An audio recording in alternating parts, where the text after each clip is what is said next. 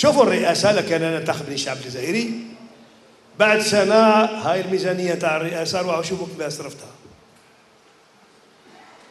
كي الرئيس يدير هكذا الوزراء يخرجوا الطريق. لا يولوا كل طايعين. أعدل روحك مع الشعب نكونوا أصحاب. ما بغاك الشعب ما تقعدش. هاو تسير. والدعوة العمومية هذه شكون اللي يحرك الدعوة العمومية؟ تمشي تلقائيا يجيك خبر باللي كاينة سرقة. ولا نهب ما تشور حتى واحد حرك الدعوة العمومية وحقق.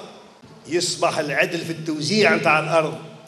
يصبح العدل في إعطاء القروض لمن يستحقها.